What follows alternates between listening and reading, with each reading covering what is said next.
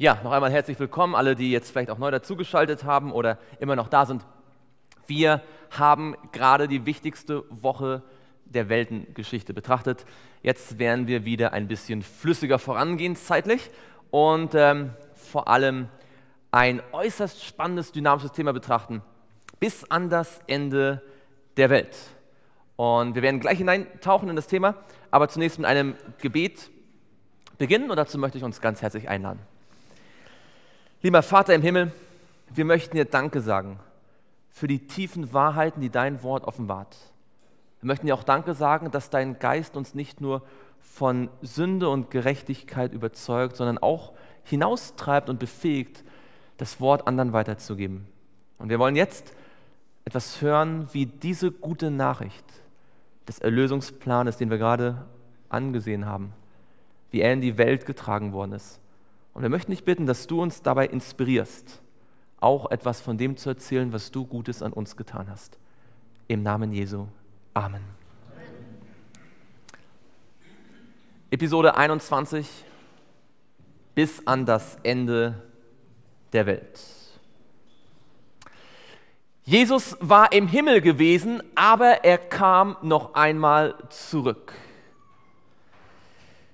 Und er traf zwei seiner Jünger auf dem Weg. Die verließen gerade Jerusalem und waren äußerst niedergeschlagen.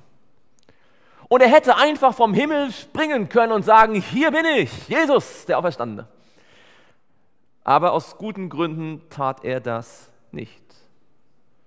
Er gesellte sich zu ihnen und gab vor, ein anderer Wanderer zu sein, der auch gerade zufällig nach Emmaus in ihre Richtung mitwanderte. Und so erzählten sie, und ähm, es schien so, als ob er von all dem nicht so richtig was mitbekommen hat. Und sie fragten ihn, bist du der einzige Fremdling in Jerusalem, der nicht erfahren hat, was dort geschehen ist in diesen Tagen? Offensichtlich war es das Gespräch der ganzen Stadt.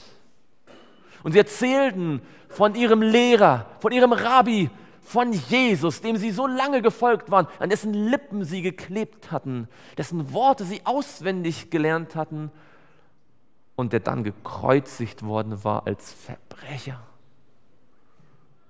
Und dann mit hängender Stimme sagten sie, wir aber hofften, er sei der, welcher Israel erlösen sollte. Und wahrscheinlich haben spätestens hier die, die Malakim sich an den Kopf gefasst und dachten, oh, er steht neben euch. Er hat Israel erlöst. Aber sie sahen es noch nicht. Ja, aber alledem ist heute schon der dritte Tag, seit dies geschehen ist. Zudem haben uns auch einige Frauen aus unserer Mitte in Verwirrung gebracht. Die haben sogar behauptet, Jesus sei auferstanden. Die Maria Magdalena, die ist so ganz aufgeregt dahergelaufen und einige andere auch. Jetzt sind wir total verwirrt. Wahrscheinlich musste Jesus sich sehr schwer zusammenreißen. Und dann sagt er sie freundlich, aber doch bestimmt, oh ihr Unverständigen, wie ist doch euer Herz träge, ihr seid ein bisschen schwer von Verstand. Wie ist doch euer Herz träge zu glauben an alles, was die Propheten geredet haben? Und nebenbei habe ich euch nicht dreimal gesagt, ich werde leiden, sterben und am dritten Tag auferstehen. Und ihr habt mich angeschaut wie ein großes römisches Wagenrad. Was war denn daran so schwer zu verstehen? Und er begann bei Mose und bei allen Propheten und legte ihnen in allen Schriften aus, was sich auf ihn bezieht. Schaut mal hier, was der Biliam gesagt hat. Und hier, Vergleich das mal mit dem, was Jeschajahu gesagt hat. Und hier, Jamiyahu hat auch von mir gesprochen. Und Hosea und all die Propheten. Und es war, als ob plötzlich ihr Herz Feuer fing. Und sie kamen zu Hause an und äh, es schien so, als ob dieser Wanderer weiterging, der sich so gut in der Bibel auskannte. Sie baten ihn hinein und als sie gemeinsam das Brot aßen und er das Brot brach, war es deswegen, weil er das Brot auf eine bestimmte Art und Weise brach? Oder vielleicht deswegen, weil sie etwas an seinen Händen sahen. Aber ehe sie es ganz aussprechen konnten, dass es offensichtlich er war, Jesus, war er schon verschwunden. Und jetzt waren sie so begeistert, dass sie sofort sich wieder auf den Rückweg machten. Sie waren müde dahergetrottet nach Emmaus, aber jetzt rannten sie wie junge Rehe im Laufschritt und sprangen über die Straße. Brannte nicht unser Herz in uns, als er mit uns redete auf dem Weg und als er uns die Schriften öffnete. So schnell ist wahrscheinlich selten jemand von Emmaus nach Jerusalem gekommen. Und sie kamen in Jerusalem an, dort, wo sich die anderen Jünger in einem Obergemach eingeschlossen hatten. Sie waren sich nicht ganz sicher, ob sie vielleicht auch noch drankommen. Sie fürchteten sich. Aber dann hörten sie die Nachricht und sie hatten ja auch von anderen schon gehört, Jesus sei auferstanden. Aber erst als er plötzlich unerklärlicherweise war er vielleicht hindurchgerutscht, als sie die Tür aufgemacht hatten für die beiden Jünger, plötzlich mitten unter ihnen stand und sie immer erst noch nicht glauben wollten, dass er es ist, sondern eher an ein Gespenst dachten. Und er ihnen zeigen musste, schaut doch mal hier an, schaut doch, schaut doch mal meine Hände an, fasst doch mal an, rührt mich an, schaut. Ich bin kein Geist. Er war beim Vater gewesen. Maria Magdalena hatte ihnen noch erzählt, dass sie ihn nicht anrühren durfte, weil er erst zum Vater musste. Aber jetzt durften sie ihn anfassen. Er war beim Vater gewesen. Das Opfer war anerkannt. Und er fing wieder an, nicht einfach nur auf diese Erscheinung zu bauen, sondern ihnen zu zeigen, dass doch von den ersten Tagen Adams an alle Propheten doch genau das gesagt hatten. Das sind die Worte, die ich zu euch geredet habe, als ich noch bei euch war, dass alles erfüllt werden muss, was im Gesetz Moses und den Propheten und im Psalmen von mir steht. Torah, Nevim, Ketuvim. Das Gesetz, die Propheten und die Schriften. Er kannte die Dreiteilung auch ganz gut. Und alle hatten von ihm geschrieben. Und ihr seid Zeugen davon. Ich habe euch nicht berufen, um irgendein Minister in einem kleinen jüdischen Königreich zu sein, das sich gegen die Römer kämpft. Ich habe euch berufen, Zeugen zu sein des Planes Gottes. Aber einer von den Jüngern war nicht einmal anwesend. Und selbst als alle anderen ihm beteuerten, wir haben ihn wirklich angefasst, glaub uns. Und wir, wir haben sogar einmal seine Wunde angefasst. Ist echt. Thomas meinte, der es nicht gesehen hatte, wenn ich nicht an seinen Händen das Nägelmal sehe und mit meinen Fingern das Nägelmal und meine Finger in das Nägelmal lege und meine Hand in seine Seite lege, so werde ich es niemals glauben. Da war noch ein bisschen Arbeit zu tun mit diesen Jüngern. Eine Woche später kam Jesus erneut zu ihnen, offenbarte sich ihnen und sprach vor allem den Thomas an. Er sagte, Thomas, komm mal her. Nimm mal deinen Finger und schau dir meine Hand an. Du kannst doch ruhig deinen Finger in die Wunde legen. Und sei nicht mehr ungläubig. Sei gläubig. Und als er ihn sah, immer noch nicht ganz sicher, ob dann, wenn er jetzt die Hand berührt, er vielleicht durchfest, weil es noch ein Geist ist. Aber als sein Finger wirklich auf Fleisch traf, echtes Fleisch, Knochen, da fiel es ihm wie Schuppen von den Augen. Jesus war auferstanden und er war immer noch ein Mensch. Er hatte einen verherrlichten Körper, ja, er war immer noch ein Mensch. Er aß sogar mit ihnen. Honig und Fisch. Und er fiel nieder und er wusste nichts anderes zu sagen als mein Herr und mein Gott. Aber immer noch waren die Jünger sich nicht ganz im Klaren, was eigentlich jetzt mit ihnen geschehen sollte. Und einige von ihnen hatten die Idee, vielleicht nachdem jetzt das also geschehen ist, nachdem das eine tolle, spannende Episode in unserem Leben gewesen wäre, wäre es nicht vielleicht gut, jetzt wieder an einen geregelten Lebensunterhalt zu denken. Vielleicht sollten wir jetzt, wo das Ganze vorbei ist, vielleicht wieder Fischer werden. Ne? Und Petrus und andere, sie gingen wieder zum See Genezareth. Dort, wo vielleicht immer noch irgendwo ihr zurückgelassenes Boot war das sie für immer zurückgelassen hatten und jetzt benutzten sie es wieder. Aber sie konnten irgendwie keine Fische fangen. Hatten sie alles verlernt in den wenigen Jahren, die sie mit Jesus gewandert waren? Der Morgen kam Und jemand am Strand rief ihnen zu, wie sie es zu machen hatten. Sie sollten ihr Bo das, das Netz auf die rechte Seite auswerfen. Und das taten sie. Und plötzlich wären sie beinahe gesunken.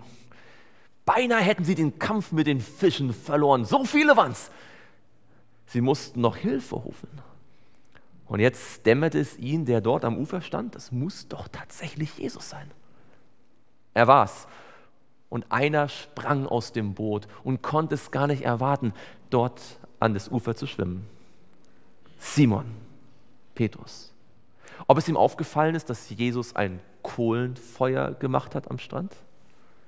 Ein gleiches Kohlenfeuer, an dem er nur Tage zuvor geflucht hatte, dass er Jesus gar nicht kennt. Sie aßen. Es war eine etwas merkwürdige Atmosphäre.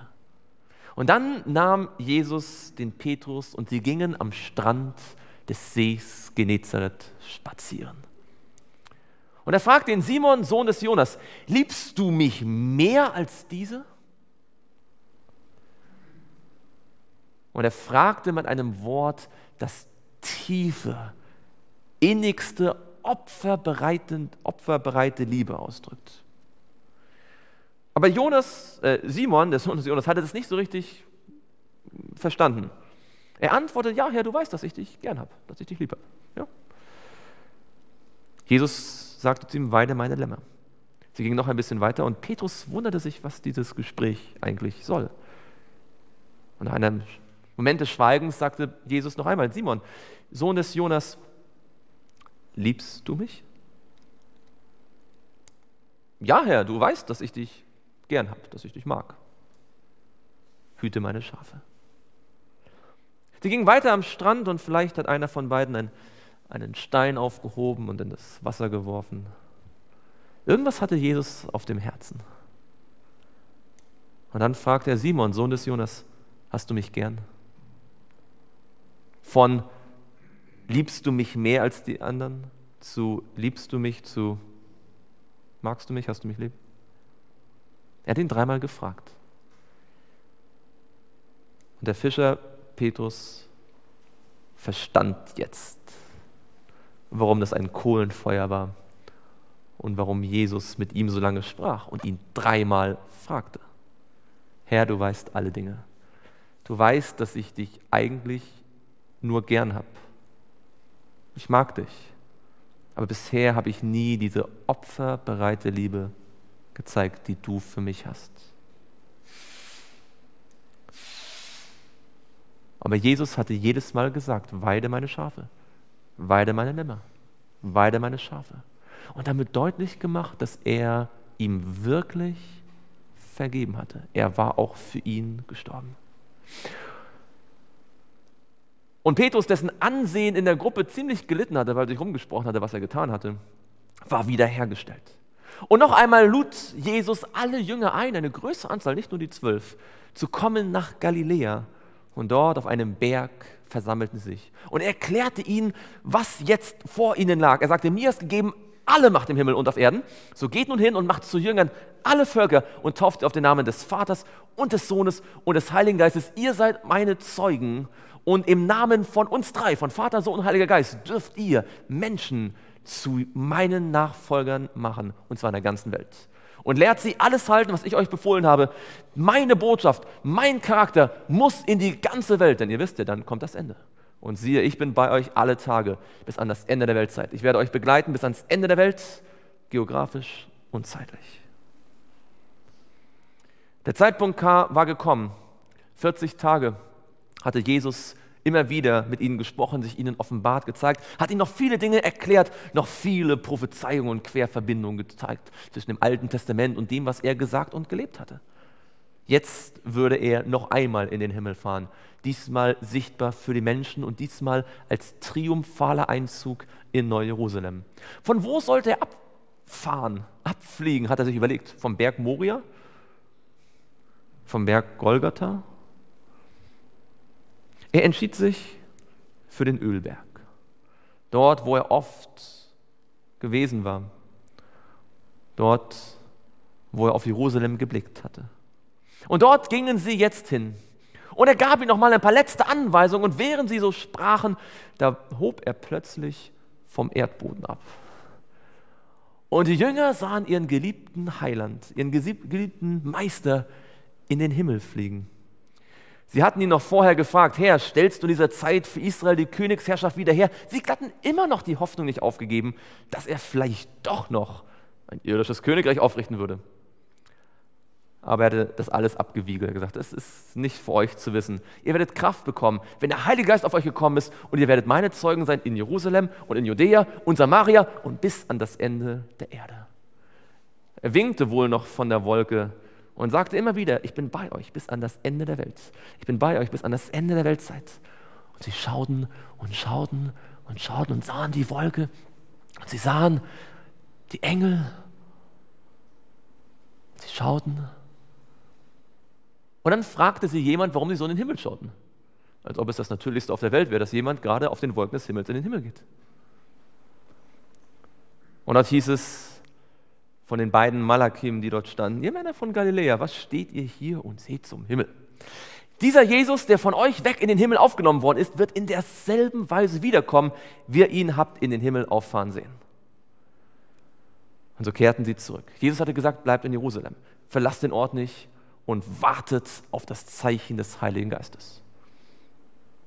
Also blieben sie. Sie gingen jeden Tag in das Obergemach und sie wussten nichts Besseres zu tun, als einfach zu beten. Es gab viel aufzuarbeiten untereinander. Wie oft hatten sie, waren sie neidisch gewesen? Wie oft hatten sie dem anderen nicht gegönnt, was Jesus ihnen gesagt oder getan hatte? Und sie beteten um Vergebung und sie kamen einander und Gott sehr nahe. Vielleicht haben sie nicht genau gewusst, was zeitgleich im Himmel stattfand. Dort war Jesus aufgefahren zum Thron Gottes und das gesamte Universum stand Kopf. Alle Engel, alle Bewohner irgendwelcher Welten hatten ein für allemal den großen Kampf durchschaut und niemals würden sie auch nur noch einem Wort dem Satan glauben. Für sie war die Sache bereits besiegelt. Und die Tatsache, dass die Weltengeschichte noch weiterging, lag einzig und allein, dass die Menschen es auch noch verstehen mussten. Und Jesus kam dort nach Neu-Jerusalem und die Engel sangen, erhebt euch ihr ewigen Tore. Und in die Tore hinein zog Jesus mit Millionen und Abermillionen Engeln. Einige kamen mit ihm, andere warteten auf ihn. Und dort standen an den Toren Mose und Elia. Und Henoch wird auch nicht weit gewesen sein. Die waren so froh, dass sie nicht wieder zurück mussten.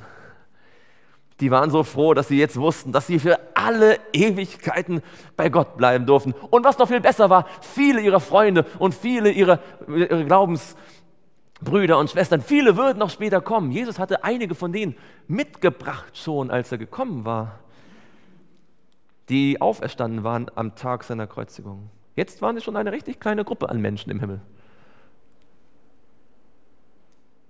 Da wir nun einen großen hohen Priester haben, der die Himmel durchschritten hat, Jesus, den Sohn Gottes. Wir haben einen solchen hohen Priester, der sich gesetzt hat zur Rechten des Thrones der Majestät im Himmel. Er kam dort als König, aber nicht um zu herrschen, sondern um zu dienen. Als Diener eines Heiligtums. Das Heiligtum, von dem Mose ein Abbild gesehen hatte, das er versucht hatte, dann nachzubauen nach genauen Anweisungen, von dem der Tempel ein Abbild gewesen war. Diese gewaltige Komplex im Himmel, groß wie kein Mensch es sich vorstellen kann. Dort würde Jesus dienen als Vermittler zwischen Gott und Mensch. Als ein Diener des Heiligtums der wahrhaftigen Stiftshütte, die der Mensch errichtet hat und nicht, die der Gott errichtet hat und nicht ein Mensch. Verzeihung den der Herr errichtet hat und nicht ein Mensch. Er, der das einzige Opfer gebracht hat. Damals wurden viele Opfer gebracht und immer wieder ist das Blut des Opfers in das Heiligtum transferiert worden, als Sinnbild, dass die Sünden auf das Heiligtum geworfen worden sind. Er hatte alle Sünden, die jemals begangen worden sind und die jemals begangen werden würden, von Menschen auf sich genommen. Er hat das Opfer gebracht und mit ihm wurde all das jetzt vor das Heiligtum gemacht. Jeder konnte dort Vergebung bekommen, der das glaubte. Aber damit er tatsächlich dieser Priester sein konnte, musste etwas geschehen. Gott, der schon immer ein Gott der Ordnung war, würde auch hier ein Gott der Ordnung sein. Ein Priester muss ins Amt eingeführt werden. Und zehn Tage nachdem er in den Himmel aufgefahren war, versammelten sich die Vertreter, vielleicht sogar alle Bewohner aller Welten, die Engel und Gott Vater, der Heilige Geist und Jesus zu einem außergewöhnlichen Gottesdienst. Und Gottesdienste im Himmel sind immer sehr außergewöhnlich. Aber der war außer außergewöhnlich. Denn jetzt sollte Jesus schon wieder gesalbt werden. Er war ein Messias in einem vielfachen Sinne. Diesmal sollte er eingesetzt werden in das Amt als Vermittler zwischen Gott und Mensch. Er, der immer noch ein Mensch war und Gott gleichzeitig, sollte dort vor dem Thron Gottes den Fall jedes Menschen, der an ihn glaubt, vertreten und für ihn einstehen. Und so wurde er gesalbt. Er wurde gesalbt wie bei seiner Taufe mit dem Heiligen Geist. Und einer der alten Sänger Israels hatte gesungen, wie das feine Öl auf dem Haupt, das herabfließt, in den Bart, den Bart Aarons des Priesters, das herabfließt bis zum Saum seiner Kleider. Wenn Priester gesalbt worden waren, wurde das Öl über ihren Kopf gegossen und es floss an ihrem Kopf entlang. Es floss in den Bart. Es floss an ihren Kleidern entlang und es tropfte ein bisschen auch auf die Erde. Wie der Tau des Hermon, der herabfließt auf die Berge Zions, denn dort hat der Herr den Segen verheißen, Leben bis in Ewigkeit. Und als Jesus im himmlischen Heiligtum gesalbt wurde mit dem Heiligen Geist, auf einer Weise, die ein Mensch gar nicht beschreiben kann, floss es an ihm herab. Und es tropfte ein wenig davon auf die Erde. Das war immer noch genug, um einen gewaltigen Wind auszulösen und Feuerzungen auf die Jünger zu bringen. Der Heilige Geist war ausgegossen worden. Nicht einfach auf die Jünger, sondern auf Jesus und damit auf alle, die mit ihm verbunden waren. Und es war, als ob plötzlich in ihrem Kopf alle Lichter angingen und sie all die Dinge, die Jesus ihnen erklärt hatte, die sie immer mühsam versucht haben zusammenzubringen, plötzlich ein Gesamtbild ergaben. Plötzlich verstanden sie genau, was die Propheten gesagt haben. Und es war, als konnten sie es klar und deutlich formulieren. Und da warteten sie nicht eine halbe Sekunde länger. Sie gingen hinaus und fingen an zu predigen dort im Tempel. Und die dort standen, waren sich, wunderten sich, dass sie alles in ihren eigenen Sprachen hören konnten. Siehe, sind diese, die da reden, nicht alle Galiläer. Keine von denen hatte einen Kurs gemacht in der Universität auf Jerusalem in, in Elamitisch oder in Akkadisch oder in, in, in Arabisch oder Griechisch oder Römisch. Latein. Sie konnten alles auf einmal sprechen. Es war, als ob der Geist Gottes all die Hindernisse, die Menschen sonst als Hindernis empfinden, einfach wegfegen würde, um diesen Lichtstrahl der Gnade Gottes in die Welt fließen zu lassen. Wie hören wir sie denn alle in unserer eigenen Sprache, in der wir geboren wurden? Und Petrus hielt eine Predigt, die sich gewaschen hatte. So soll nun das ganze Haus Israel mit Gewissheit erkennen, dass Gott ihn sowohl zum Herrn als auch zum Christus gemacht hat. Eben diesen Jesus, den ihr gekreuzigt hat. Nur wenige Wochen zuvor hatte er behauptet, den Jesus nicht mal zu kennen. Jetzt stand er vor tausend von Menschen und wagte es ihnen ins Angesicht zu sagen, ihr habt ihn gekreuzigt, aber wisst ihr was? Er liebt euch trotzdem und ihr könnt euch noch zu ihm wenden. Und den Menschen drang es ins Herz. Es war, als ob der Heilige Geist wie ein Bogenschütze Pfeile in ihr Herz geschossen hatte. Und sie fragten, was sollen wir tun, ihr Männer und Brüder? Und er sprach, tut Buße, kehrt um und jeder von euch lasse sich taufen auf den Namen Jesu Christi zur Vergebung der Sünden. So werdet ihr die Gabe des Heiligen Geistes empfangen. Wenn ihr glaubt, wird euch vergeben und ihr werdet erfüllt werden mit der Liebe Gottes. Und 3000 Menschen ließen sich taufen. Aber nicht wegen der Predigt von Petrus, sondern wegen all dem, was Jesus gesagt und gelehrt hatte. Er hatte gesät und bewässert und er hatte hatte es kultivieren lassen Just in dem Moment, wo er hätte ernten können, hatte er die Erde verlassen und hatte die Freude der Ernte seinen Jüngern übergeben. Und täglich waren sie im Tempel, lobten Gott und waren ein Herz und eine Seele. So etwas hatten Engel noch nie gesehen.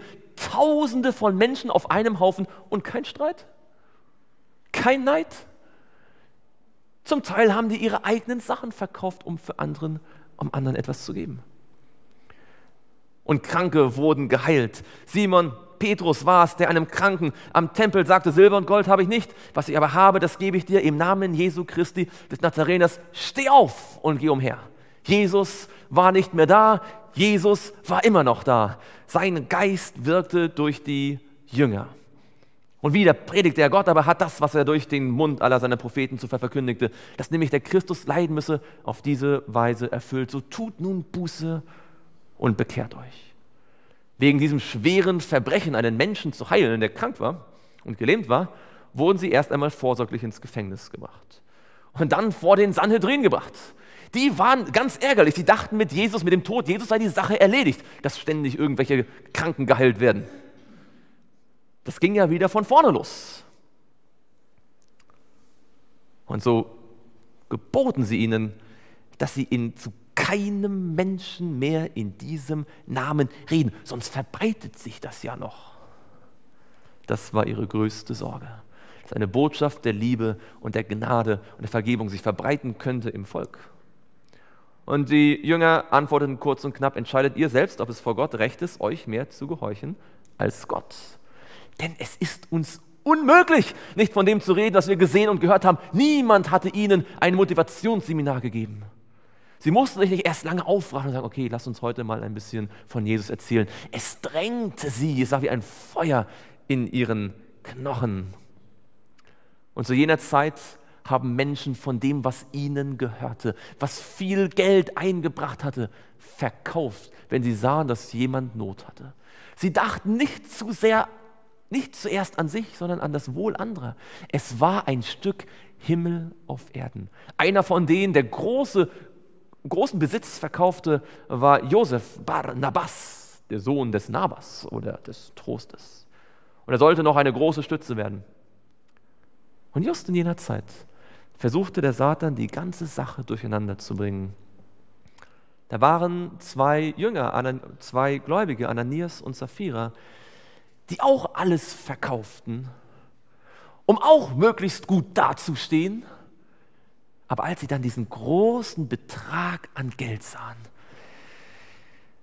ach, die Armen brauchen ja auch das Geld. Aber brauchen sie wirklich alles?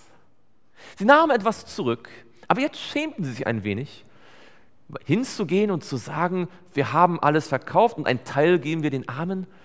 Sie wollten doch gut dastehen, sie wollten doch so gelten als die besonders Opfer bereiten. Und so behaupteten sie, dass sie alles gegeben hätten. Was sie damit taten, sie zogen die Opferbereitschaft Gottes in den Dreck. Sie behaupteten, Jesus nachzufolgen, der alles gegeben hatte, und behielten selbst für sich zurück. War es nicht letztlich das, was der Satan Jesus vorgeworfen hatte, dass er zwar segnet, aber doch manches zurückhält?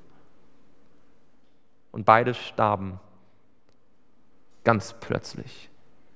Gott wollte nicht zulassen, dass dieses Gift sofort die Gemeinde wieder vernichtet. Wieder wurden die Apostel ins Gefängnis gebracht und diesmal wurden sie gut bewacht und stark weggeschlossen. Und am nächsten Morgen waren die Wachen noch da und das Schloss war immer noch fest. Das Einzige, was fehlte, waren die Apostel im Gefängnis. Und jemand sagte, wisst ihr was, wo die sind? Ihr werdet es nicht glauben. Die Männer, die ihr ins Gefängnis gebracht habt, die stehen im Tempel und lehren das Volk. Die Priester waren wirklich außer sich. Und sie riefen sie zu sich und sagten, haben wir euch nicht streng verboten, diesem Namen zu lehren? Und sie, ihr habt Jerusalem erfüllt mit eurer Lehre und wollt das Blut dieses Menschen auf uns bringen. Hatten sie vergessen, was sie gerufen hatten, dem Pontius Pilatus? Sein Blut sei auf uns. Sie hatten es gesagt und jetzt machten sie die Jünger dafür verantwortlich. Der Satan hatte auch wirklich nichts Neues auf Lager. Aber sie sagten wieder deutlich, man muss Gott mehr gehorchen als den Menschen. Und da war ein weiser Schriftgelehrter. Sein Name war Gamaliel, er war ein beliebter Lehrer. Und er hatte einen relativ kühlen Kopf. Er sagte, lasst ab von diesen Menschen und lasst sie gewähren, denn wenn dieses Vorhaben und dieses Werk von Menschen ist, so wird es zunichte werden. Ist es aber von Gott, so könnt ihr es nicht vernichten, dass ihr nicht etwa als solch erfunden werdet, die gegen Gott kämpfen. Nachdem sie ihren Schöpfer ans Kreuz gebracht hatten, ohne Grund, fiel ihnen irgendwann ein, dass sie vielleicht eventuell sogar gegen Gott kämpfen könnten. Und sie ließen sie gewähren. Es vergingen tatsächlich etliche Monate, ja, einige Jahre sogar. Und die Gemeinde wuchs und wuchs und wuchs und wuchs. Und die Apostel hatten alles in ihren Händen. Aber mittlerweile war die Gemeinde so groß geworden, dass man sich nicht mehr um alles kümmern konnte. Und vor lauter Armenversorgung konnte man kaum noch predigen als Apostel. Und so entstand eine gewisse Unzufriedenheit. Und man wählte sieben Diakone. Einer von ihnen war ganz besonders. Sein Name war Stephanos, Krone oder Kranz. Und er war so voll Heiligen Geistes, obwohl er Diakon war und dafür zuständig war, armen Witwen das Brot zu geben, hat er trotzdem jede sich bietende Gelegenheit genutzt, um zu predigen und das Wort von Jesus zu erzählen, was Jesus für ihn getan hatte, was Jesus für ein großer König ist. Und äh, viele stritten mit ihm und versuchten ihn zu überzeugen in De Debatten, aber sie konnten es nicht. Und dann fiel ihnen nur ein Mittel ein. Festnahme. Es waren mittlerweile schon dreieinhalb Jahre vergangen. Immer noch waren die Jünger nur in Jerusalem gewesen. Ob Stephanus gewusst hatte, dass dreieinhalb Jahre vergangen war? Ob die Jünger noch auf dem, im Gedächtnis hatten, dass Daniel gesagt hatte, dass insgesamt sieben Jahre, sieben Tage, eine Woche lang der Bund befestigt wird und dass dann die 490 Jahre für Israel ablaufen? Sie stellten ihn vor den Sanhedrin und er sollte sich rechtfertigen. Und so fing er an, eine Predigt zu halten, die ganz vorne begann. Er entschied sich als Predigtthema Weltengeschichte. Und er fing an bei den Patriarchen von Uru und erzählte, wie Gott mit den Menschen von Zeitalter zu Zeitalter gewirkt hatte, wie er nach Kanan gebracht worden ist. Er erzählte von, von Yitzchak und von Jakob und erzählte von Josef, der Tiati in Kemet wurde und erzählte von dem Volk, das sich ausbreitete, erzählte von Mose und von dem brennenden Dornbusch und von der Eroberung Kanaans. Es war eine relativ lange Predigt. Aber er hatte ja noch einiges vor sich und er war gerade so bei David angekommen, erzählte Geschichten von David und dann von Salomo, von dem Tempel. Und jetzt war er gerade bereit, in das Buch der Könige einzutauchen. Es gab noch viel Stoff, den er sich vorgenommen hatte zu predigen, als er in die Runde blickte und merkte, die schauen gar nicht zu. Und zuhören tun sie erst recht nicht. Die gucken ihn immer nur so böse an.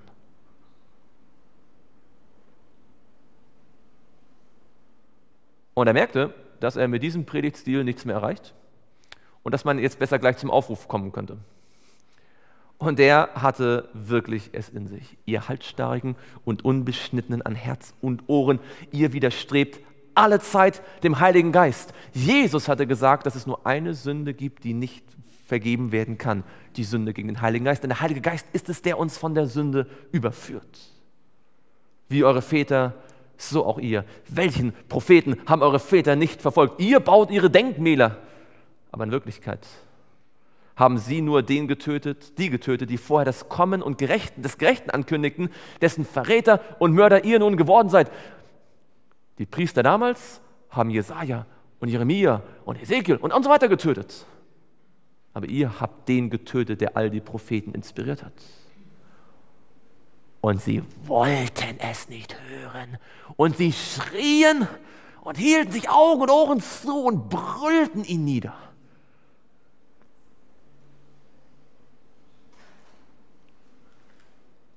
Es war, als ob der Heilige Geist an einer verschlossenen Tür stand. Und sie, sie brachten ihn aus der Stadt hinaus. Und er sagte das, was auch Jesus gesagt hatte, Herr, rechne ihn diese Sünde nicht an. Aber in diesem Schrei, in diesem Zuhalten der Ohren kulminierten Jahrhunderte der Ablehnung. Und sie wussten nicht, dass ihr Schrei die 490 Jahre, die Daniel gesehen hatte, Ratzak Abschnitt von einer viel längeren Zeitprophezeiung. Ihr Schrei schnitt sie ab.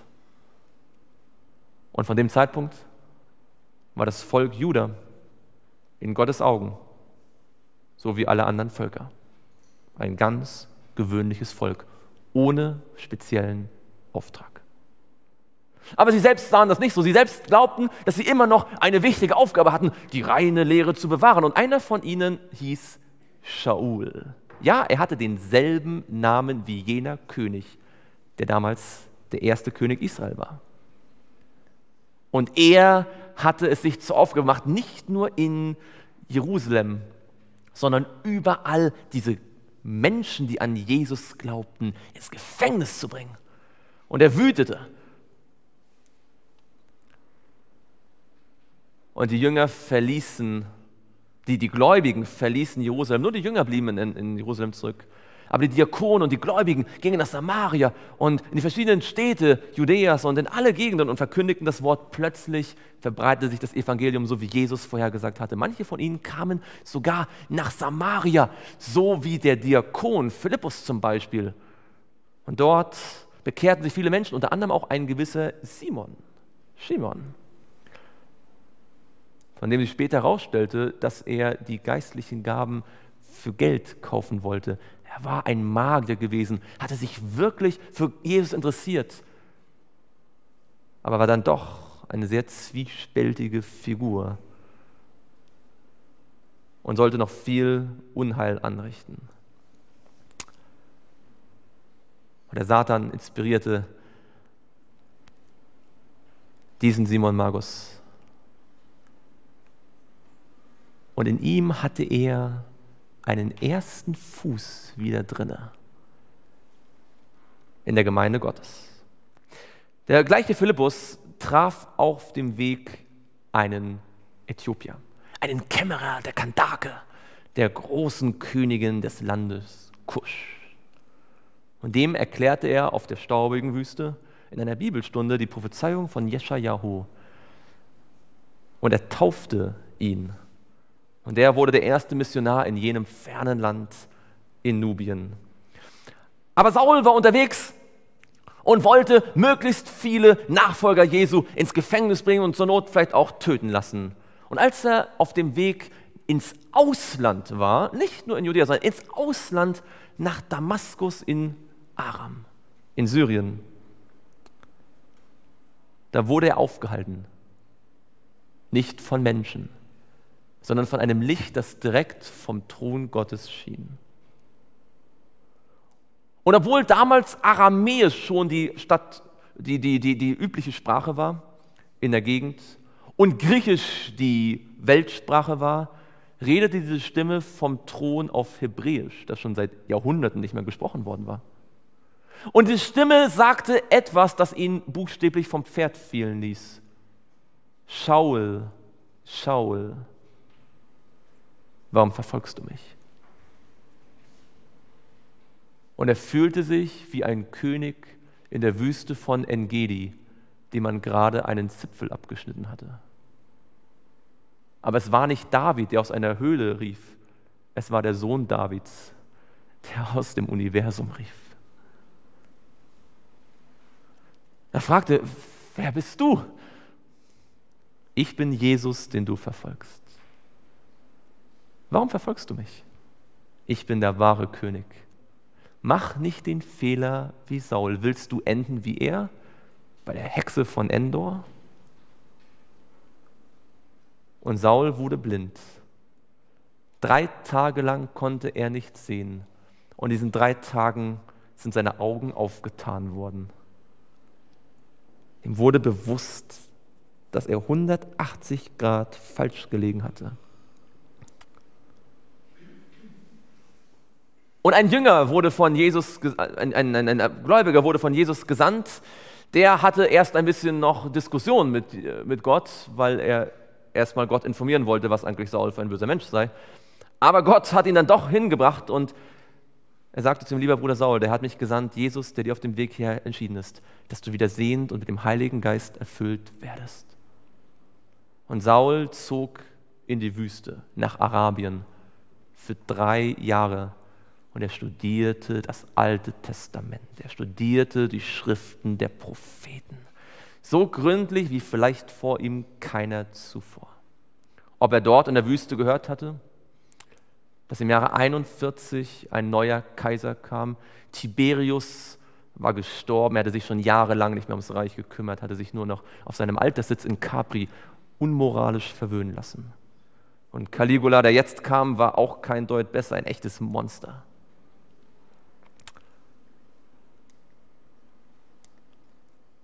In jener Zeit kam Petrus, Verzeihung, kam, kam Saulus wieder zurück nach Jerusalem.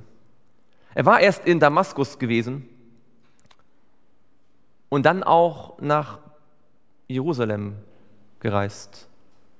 Aber überall begegnete man ihm mit Vorsicht. Sie fürchteten sich alle vor ihm und glaubten nicht, dass er ein Jünger wäre. Wahrscheinlich ist er nur ein Spion. Er gibt vor, Christ zu sein damit er besser herausfinden kann, wo wir unseren Gottesdienst haben. Haltet euch fern von ihm. Selbst die Jünger, die Apostel, brauchten länger, um warm mit ihm zu werden. Und so zog er in seine Heimat nach Tarsus, in Kilikien, in Kleinasien. Noch immer gab es vieles, was die Jünger nicht so richtig begreifen wollten. Da war das mit den Heiden.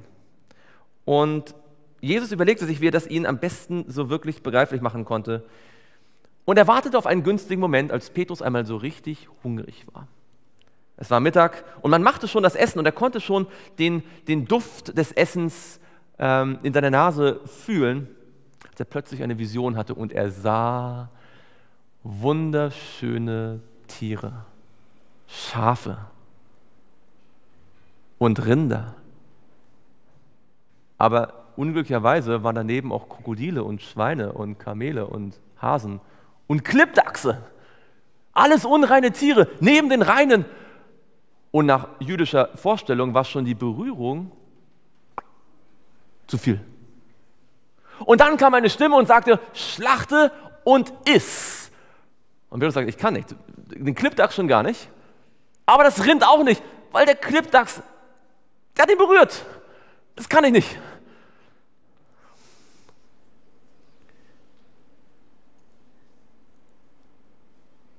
Und dann kam die Nachricht. Ein Heide, ein Römer, Cornelius, braucht Bibelstunden. Wirst du gehen?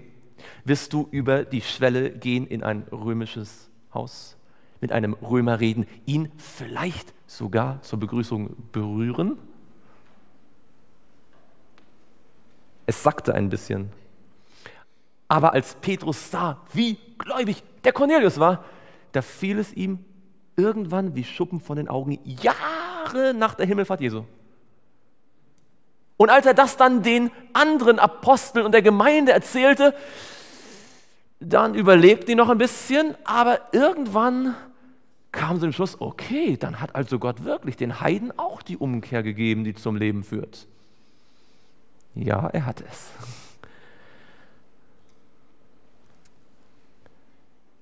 Im Jahre 41 war Caligula, der 37 Kaiser geworden war, schon wieder gestorben.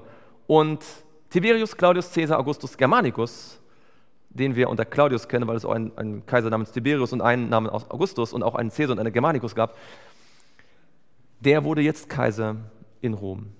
Zu seiner Zeit herrschte Herodes Agrippa über Galiläa. Und in seiner Zeit wurden erstmals größere Mengen an echten Heiden Gläubige. Vor allem in Antiochia, weit im Norden, außerhalb dessen, was meistens zu Israel gezählt hatte. Und dort nannte man sie zum ersten Mal Christianoi, Christen. Und als man davon hörte, brauchte man einen guten Bibelarbeiter, der ihnen dort das Evangelium richtig erklären könnte. Und, man, und es fiel ihnen ein, warum nicht diesen Saulus? Man holte ihn, der jahrelang dort in seiner Heimat geblieben war, ungenutzt dort gewesen war. Man holte ihn jetzt und gemeinsam mit Barnabas war er der Verkündiger des Evangeliums in Antiochia. Anfang 44 wurde Jakobus, der Apostel, ins Gefängnis gesteckt. Aber die Gemeinde betete kaum für ihn und er wurde tatsächlich als erster Apostel exekutiert. Und dann kam Petrus ins Gefängnis. Und jetzt betete die Gemeinde ein ganzes, ganz deutlich mehr, denn Petrus wollten unter keinen Umständen verlieren. Und tatsächlich, ein Engel kam und befreite ihn.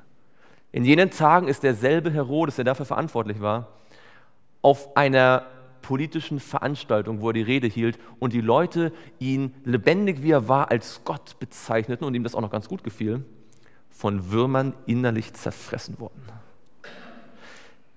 In jener Zeit gab es auch die große Hungersnot, die einer der Propheten in der neuen Gemeinde, in der Agabus, vorhergesagt hatte. Und die Gläubigen aus Antiochia brachten eine Hilfe für die Bewohner von Jerusalem. Und dort in Antiochia waren auch Propheten, die gesagt haben, wir müssen das Evangelium noch in ganz andere Teile der Welt bringen. Und sie sagten, sondert mir aus, der Heilige Geist sprach durch sie, sondert mir aus Barnabas und Saulus zu dem Werk, zu dem ich sie berufen habe. Und 47 13 Jahre nachdem die 70 Wochen zu Ende waren und die Mission unter den Heiden möglich war, begann das erste Missionsschiff zu segeln. Es hatte länger gedauert, als es möglich gewesen wäre. Aber immerhin, jetzt waren sie unterwegs. Sie kamen nach Zypern und erlebten dort ihre ersten Wunder, ihre ersten großen Missionserfahrungen. Sie kamen auch nach Salamis.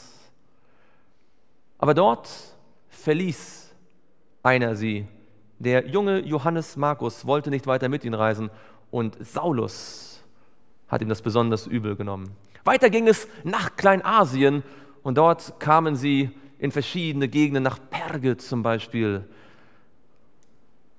Und dort, wo immer sie kamen, haben sie zuerst die Juden aufgesucht aber die wollten oft nichts wissen. Und so sagte Paulus zu ihnen, euch musste das Wort Gottes zuerst verkündigt werden, da ihr es aber von euch stoßt und euch selbst des ewigen Lebens nicht würdig achtet, siehe, so wenden wir uns zu den Heiden.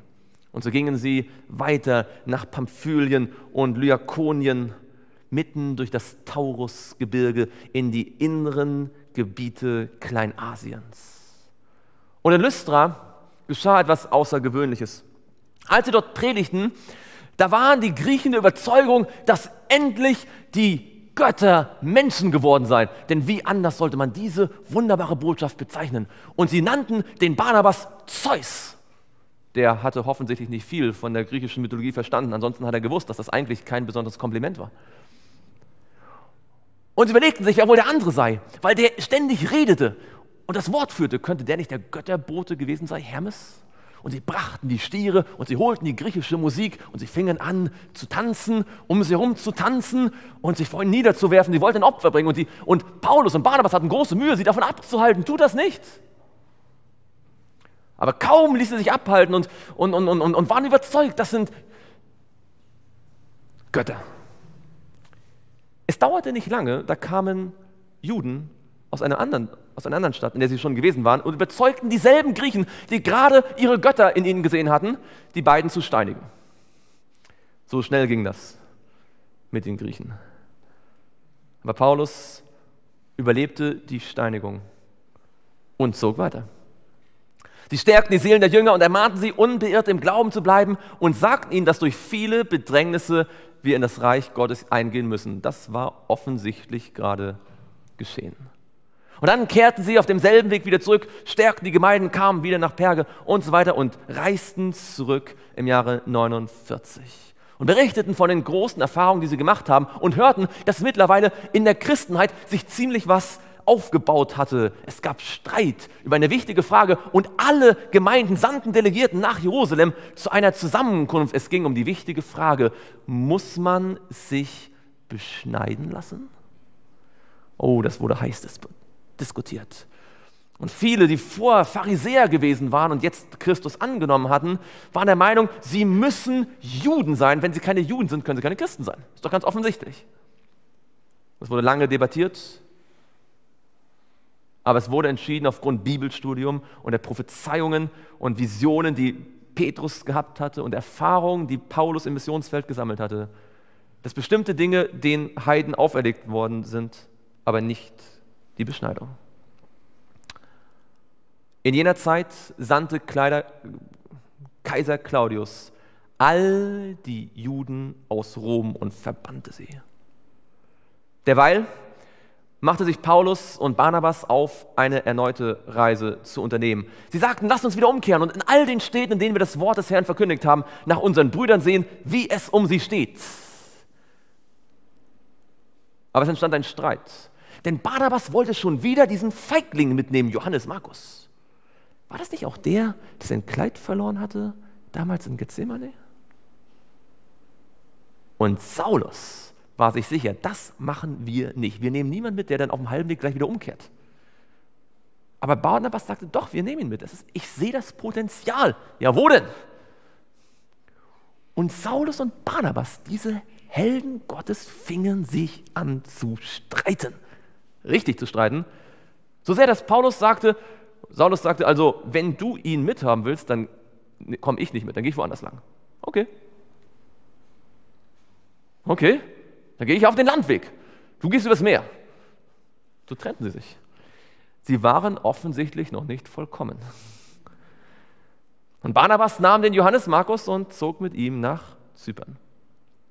Paulus ging etwas grummelig den Landweg über seine Heimat Kilikien und wieder durch das Taurusgebirge. Und dort traf er einen jungen Mann, den er als seinen Schützling heranziehen wollte, den Titus. Und obwohl er Grieche war, ließ er ihn beschneiden. Interessanterweise. Es gab dort Menschen, die vom Heiligen Geist oft gar nichts gehört hatten. Und immer wieder predigte Paulus von dem Wirken dieses Heiligen Geistes, der das Evangelium in die ganze Welt hinaus drängte, trotz der Fehler und Schwächen auch dieser Männer und Frauen. Und sie kamen dann immer weiter nach Westen. Sie wollten eigentlich nach Norden. Sie wollten nach Galatien und nach Pamphylien und äh, nach Pontus. Aber der Heilige Geist sagte immer, nein, nein, nein. Der Heilige Geist trieb sie nach Westen. Sie wussten nicht warum. Als sie an den Ruinen von Troa standen, wo vielleicht noch der Schwer steckte, den damals Alexandros Hormegas, der Große, hineingeworfen hatte, dort hatte er einen Traum Saulus, der sich mittlerweile auch Paulus nannte. Und er sah im Traum einen griechischen Mann, einen makedonischen Mann, der sagte, komm, komm, rüber, über den Hellespont, auf einen anderen Kontinent, komm nach Europa, komm zu uns und hilf uns. Und so gingen sie. Das Evangelium kam nach Europa, es kam nach Makedonien, es kam nach Samothrake nach all den Orten, nach Philippi, die Stadt, die Philippus, der Vater von Alexander, gegründet hatte. Und dort hatten sie einer Purpurhändlerin ihre erste Christin.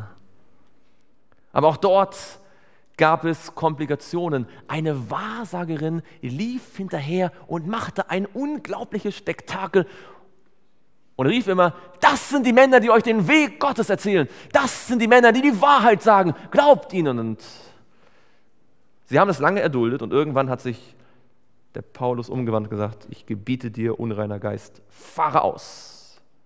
Die Frau war eigentlich ganz dankbar, aber die, die sie bezahlten, weniger. So endeten sie in Philippi im Gefängnis. Und während alle anderen Gefängnisinsassen traurig vor sich hin saßen, sangen die und jubelten, sangen Psalmen, denn Gott war ja immer gut, auch im Gefängnis. Aber es war nicht wegen ihrem Gesang, dass irgendwann die Erde erbebte. Und alle Gefangenen frei wurden und der Gefängniswächter schon das Schlimmste dachte und feststellen musste, dass seine Gefangenen Saulus und Barnabas nicht mal rausgegangen waren. Das hat viele Heiden überzeugt. und der Gefängnismann und viele andere wurden noch dort getauft. Aber auch Gegner gab es. Es hieß, diese Leute, die die ganze Welt in Aufruhr versetzen, sind jetzt auch hier. Der Heilige Geist trieb das Evangelium wirklich in alle Welt. Und es hieß, und doch handeln sie alle gegen die Verordnung des Kaisers, indem sie sagen, ein anderer sei König, nämlich Jesus. Und dann kam Paulus nach Athen. Darauf hat er sich gefreut. Auf die Griechen, die Stoiker, die alle Emotionen ausschalten wollten. Und die Epikureer, die alles nur als einen Witz betrachteten. Und die Schüler von Platon und die Schüler von Aristoteles. Und er begann mit ihnen zu diskutieren. Und sie merkten schnell, dass es was Neues war, denn sie liebten Neuigkeiten. Lange Dinge, die sie schon kannten, fanden sie langweilig. Aber Dinge, die neu waren, egal ob es irgendein Schwachsinn war, sie liebten alles Neues und sagten, erzähl uns mal, was du hier zu sagen hast.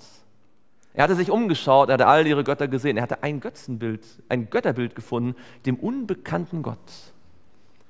Die Griechen, die so viel Erkenntnis hatten, hatten vor lauter Erkenntnis den wahren Gott nicht mehr gekannt. Und er fing an mit griechischen Zitaten, mit Philosophen. Er hatte so viel gelesen, all das zu erklären, was er meinte. Und die hörten ganz interessiert zu, er schien ja ganz intelligent zu sein. Aber immer dann, wenn er zu dem Eigentlichen kam, wie Totenauferstehung und Gericht, der sagt, nach so ein Quatsch, religiöses Zeug.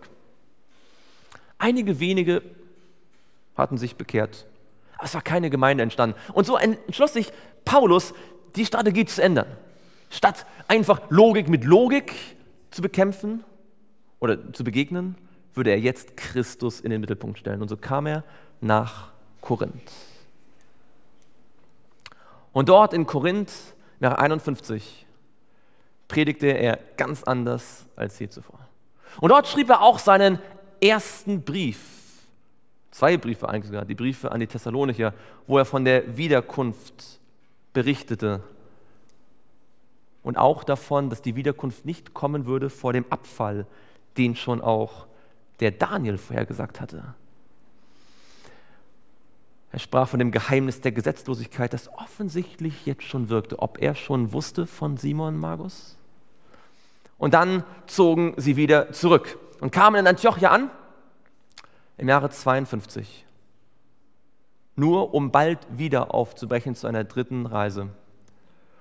Und in dieser dritten Reise hielt er sich sehr lange in Ephesus auf. Und dort, drei Jahre lang wirkt er dort, bekehrten sich so viele Menschen, dass sie all ihre Bücher und ihre Zauberbücher verbrannten und die Händler mit Götzenbildern bald arm wurden. Er wird sicherlich gehört haben, dass in jener Zeit Nero, im Jahre 54 muss es heißen, Kaiser wurde.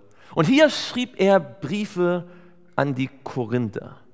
Er hatte gehört, dass in der Gemeinde in Korinth sich Dinge eingeschlichen hatten, die er nicht dulden konnte. Aber es kam zu einer gewaltigen Krise. Die Händler der Diana in Ephesus wollten, dass Saulus, Paulus ausgeschaltet wird. Und sie zettelten einen Aufruhr gegen ihn an, wie er ihn nie zuvor erlebt hatte. Das ganze Amphitheater von Ephesus war voller Laute. Tausende Leute und die schrien stundenlang, groß ist die Diana der Epheser, groß ist Diana der Epheser, groß ist Diana der Epheser. Es stellte sich heraus, die meisten wussten gar nicht, warum sie eigentlich da waren. Ja, die schrien, groß ist Diana, groß ist Diana. Äh, warum sind wir eigentlich da? Egal. Groß ist Diana, groß ist die Diana, groß. Irgendwann merkte man, es geht eigentlich da um diesen Wanderprediger Saulus. Aber auch daraus hat Gott ihn befreit. Und er kam nach Korinth und konnte dort die Missstände in der Gemeinde, wo Leute sich gestritten hatten, wo es Unmoral gab, bereinigen. Und dort schrieb er einen Brief, einen Brief an die Römer. Er wollte so gern nach Rom. Und er schrieb ihnen, ich schäme mich des Evangeliums von Christus nicht, denn es ist Gottes Kraft zur Rettung für jeden, der glaubt, zuerst für den Juden, dann auch für den Griechen. Denn es wird darin geoffenbart die Gerechtigkeit Gottes aus Glauben zum Glauben, wie geschrieben steht, der Gerechte wird aus Glauben leben. Aber er ging noch nicht nach Rom. Er musste noch einmal zurück nach Jerusalem. Und so kehrte er an verschiedenen Stationen in Philippi und Troas wieder zurück. Auf dem Heimweg predigt er einmal sehr, sehr lange, so lange, wie ich mich bisher noch nicht getraut habe, hier zu predigen. Und es schlief jemand ein und starb aufgrund einer Predigt. Tod durch Predigtlänge. Aber Gott hatte auch damit Mitleid und befähigte den schuldigen Paulus, diesen jungen Mann Eutychus wieder zum Leben zu erwecken. Und dann segelt er zurück. Er wollte noch einmal nach Jerusalem, er wollte das Fest dort feiern, aber seine Pläne waren anders. Er wollte nach Rom und dann wollte er nach Spanien. Und wenn ihm jemand erzählt hätte, dass es hinter dem Ozean noch einen Kontinent gab, er hätte sich das als letztes Ziel vorgenommen.